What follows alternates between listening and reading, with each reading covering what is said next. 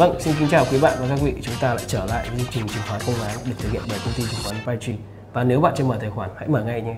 Vitree là công ty duy nhất trên thị trường miễn phí giao dịch. Vâng, hôm nay à, chúng ta sẽ bàn về một mã rất thú vị. Chúng ta đã từng đưa các mã về ngân hàng bán lẻ đưa lên sóng. Đó là những mặt hàng mà có thể chúng ta tiếp xúc hàng ngày. Tuy nhiên, ngày hôm nay chúng ta sẽ nói về một mã họ có phương thức vận hành hoạt động ở trong một ngành mà nó có vẻ không thuộc thuộc với chúng ta lắm. Chính vì vậy, chúng tôi sẽ giới thiệu đến các bạn logistics và chi tiết hơn là logistics ngành biển. Vậy thì logistics vận tải biển họ làm gì và tầm quan trọng của họ ảnh hưởng đến nền kinh tế như thế nào? Về mặt hình thức ấy, thì ờ, logistics cảng biển họ làm tất cả các dịch vụ liên quan đến cảng giúp cho tàu có thể đi vào và vận tải hàng hóa. Tức là bao gồm dịch vụ thứ nhất là lai dắt tàu dẫn tàu đi theo đúng luồng sâu rồi ờ, kéo tàu vào cầu cảng rồi sau đấy là dịch vụ bốc xếp hàng hóa. Bốc xếp thì lại chia làm bốc hàng bốc container lên hoặc là xếp container ở trong tàu sau đấy là những cái dịch vụ đằng sau như là dùng cầu hoặc xe nâng nâng hàng hóa hoặc container lên xe hoặc là nhỏ hơn tức là niêm phong container xếp hàng hóa ở trong container rồi xa hơn nữa là vận chuyển ờ, container đi ra ngoài nó rất nhiều mảng Vâng, ờ, như các bạn vừa nghe ý kiến từ chuyên gia thì có rất nhiều công việc chúng ta chắc là không có nhiều người tiếp xúc hàng ngày. Rồi rất thắc mắc là với cái quy mô hoạt động như vậy thì cái vận tải cảng biển có tầm ảnh hưởng như thế nào đến nền kinh tế của một quốc gia? Ngành cảng biển nó gắn mật thiết với năng lực sản xuất của quốc gia, gắn mật thiết với lại cái năng lực hoạt động xuất nhập khẩu, quy mô xuất nhập khẩu quốc gia. Quốc gia mà muốn phát triển được thì phải có một hệ thống cảng biển hiệu quả, tiếp nhận được hàng hóa và xuất khẩu được hàng hóa. Và ở Việt Nam thì chúng ta có thể thấy là cùng với cái tốc độ tăng trưởng của tổng kim ngạch xuất nhập khẩu thì tổng lượng hàng hóa, sản lượng thông quan qua cảng biển cũng tăng trưởng mạnh, tương ứng.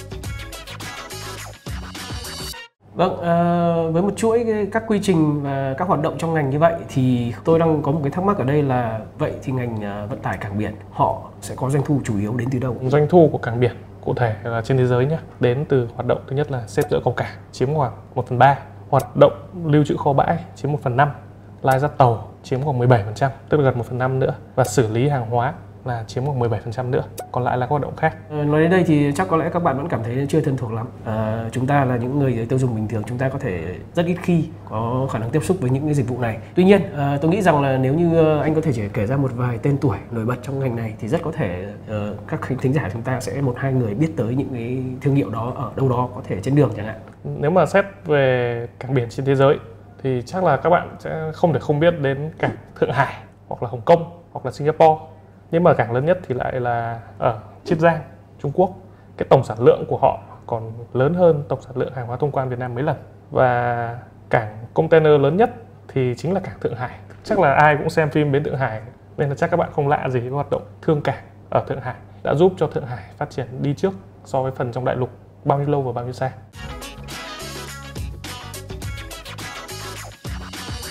Vâng, ờ, đó là về ờ, các cảng biển lớn nhất thế giới. Tuy nhiên, ờ, các doanh nghiệp hoạt động trong ngành này thì sao ạ? Anh có thể kể tên một vài doanh nghiệp rất nổi danh trong ngành này không ạ? À, nổi danh thì rõ ràng nhất là cảng Hải Phòng rồi. Cảng Hải Phòng là cảng cửa ngõ của đất nước suốt chiều dài lịch sử. Và ở Hải Phòng bây giờ chia làm ba cụm, cụm chùa Vẽ thì chúng ta có Hải An, có Đoạn Xá đều là niêm yết trên sàn.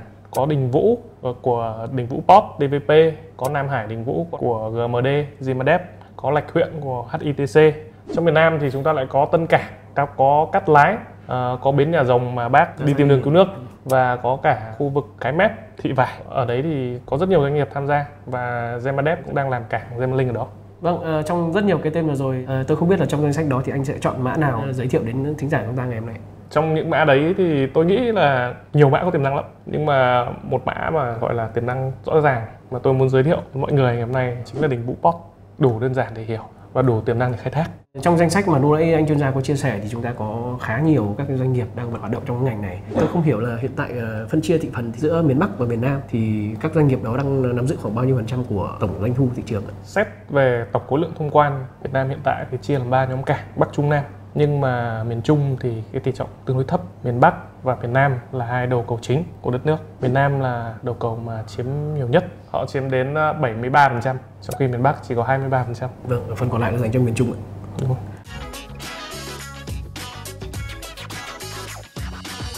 Theo anh ờ, đánh giá thì ờ, vận tải biển so với cả các ngành vận tải khác thì có điểm mạnh gì hơn? Vận tải biển điểm mạnh nhất của họ là họ có khả năng vận chuyển liên châu. Ở Việt Nam thì cái đường bờ biển rất là dài, dọc theo chiều dài của đất nước nên là vận tải biển có một lợi thế rất lớn. Thứ ba là vị trí của Việt Nam giáp với Lào, Campuchia. Chúng ta là cửa ngõ giúp thông quan hàng hóa với cả hai đất nước đấy nữa. Vâng, uh, như anh chuyên gia chúng ta chia sẻ lúc đầu, chúng ta có ba nhóm cụm cảng là miền Bắc, miền Trung và miền Nam. Trong đó miền Nam hiện tại đang chiếm uh, doanh thu lớn nhất. Từ việc đó, chúng ta có thể kết luận được rằng là điều kiện tự nhiên hay là địa hình có ảnh hưởng rất lớn đến việc vận tải biển không ạ? Chính xác điều kiện tự nhiên là yếu tố tiên quyết đầu tiên xác định lợi thế của cảng biển. Thứ nhất là lợi thế về vị trí. Chúng ta đã thấy là hồng kông, thượng hải hay singapore thì họ đã khai thác cảng tốt như thế nào. Thứ hai là về độ sâu của luồng lạch xung quanh thì ờ, độ sâu càng lớn, luồng càng rộng thì tiếp nhận được tàu càng lớn. Tàu càng lớn thì chi phí vận tải càng rẻ và phí cảng càng cao. Và cuối cùng thì là vị trí liên kết với lại cái hệ thống hạ tầng kinh tế ở bên trong đất liền, tức là càng gần vùng nhiều dân cư, càng gần vùng kinh tế thì lại càng tốt. Và nhiều khi là vùng kinh tế lại đi theo cảng chứ không phải là ngược lại. Ờ, chúng ta có thể nhắc tới ờ, Nhật Bản là một quốc gia có đường bờ biển rất dài. Singapore họ cũng có đường bờ biển là 100% bao quanh quốc gia. Nhưng tuy nhiên ờ, Singapore lại mạnh hơn và thành công hơn trong vận tải biển. Anh có thể phân tích lý do tại sao không ạ? Ờ, ở đây thì chúng ta có bản đồ uh, các tuyến đường hàng hải thì anh có thể thấy là cái khu vực của Singapore nó nằm trên cái đúng cái tuyến hàng hải mà uh, người ta đi qua kênh đảo Suez hoặc là men theo uh, châu Phi để đi lên và các tàu sẽ nghỉ ở cái cảng trung chuyển này vì thế nên là vị trí của Singapore đem lại một cái lợi thế về ngành kinh tế cảng biển lớn hơn hẳn so với các quốc gia khác. Vâng, như vậy có nghĩa là một quốc gia có đường bờ biển dài là điều kiện cần để phát triển vận tải biển. Tuy nhiên, vị trí địa lý và giao thương xung quanh mới là điều kiện đủ để cho một nền vận tải biển của một quốc gia phát triển.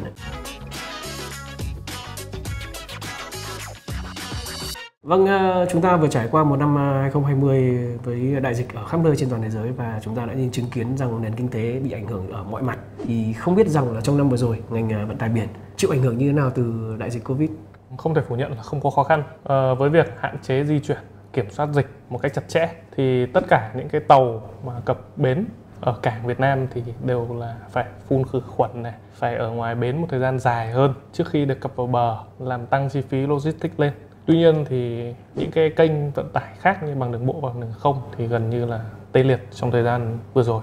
Nên là gánh nặng của ngành logistics là dồn hết lên ngành cảng biển. Nhờ thế mà làm cho là những cái ngành hoạt động trong logistics bằng đường thủy hưởng lợi trong năm vừa qua không những là sản lượng thông quan tăng lên mà giá cước vận chuyển cũng tăng lên. Ở đây chúng tôi có một số cái số thống kê. Thứ nhất là về cái chi phí vận chuyển một container từ ờ, cảng ờ, Chiết Giang sang Trung Quốc tăng lên hơn 4.000 đô la một công. Thứ hai là chi phí vận nguyên liệu, tức là cái dầu mà có hàm lượng lưu huỳnh thấp thì nó cũng tăng lên hơn 500 đô. Đấy là hai thông số mà thể hiện rõ nhất về cái tình hình của ngành vận tải đường biển năm vừa rồi. Vâng, vậy là trong năm ờ, vừa rồi tất cả các ngành vận tải khác thì gặp khó khăn hoặc sụt giảm thì riêng ngành vận tải biển lại có sự tăng trưởng bất ngờ. Vâng, chúng ta đã bước sang năm 2021 và một cái Tết vừa qua có một vài tin mừng là vaccine đã ra đời và một số quốc gia bắt đầu tiến hành tiêm chủng. Tuy nhiên tôi nghĩ là cái năng lực sản xuất sẽ còn phải chờ rất lâu để mới đủ cho toàn bộ dân số cả thế giới. Theo anh, tiềm năng của 2021 dành cho ngành vận tải biển là như thế nào?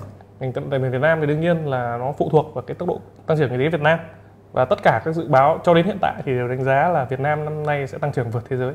Thực ra là cũng đúng thôi, bởi vì là chúng ta có FDI mạnh, chúng ta không bị ảnh hưởng bởi dịch nhiều.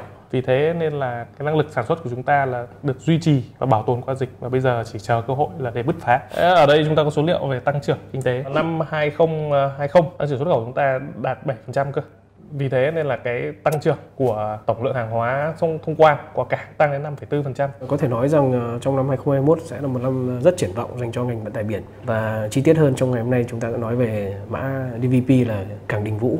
Cảng Đình Vũ liệu có nắm được uh, những lợi thế này, có nhìn trước được tương lai và đầu tư đúng mức để có thể bứt phá trong năm nay hay không? Uh, chúng ta có thể xem ở chương trình sau. Chương trình sau chúng ta sẽ nói về mô hình kinh doanh của công ty, về ban lãnh đạo về cơ cấu doanh thu. Vâng, ờ, các bạn hãy nhớ like, subscribe chương trình để nhận những thông tin cập nhật về những mã chứng khoán tốt nhất, trộm vía.